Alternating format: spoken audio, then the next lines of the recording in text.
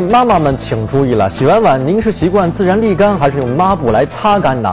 据上海发布说啊，上海市疾控中心曾经对家庭抹布进行抽样检查，结果显示，一块小小的抹布可能藏匿着数千万甚至是上亿的细菌总量。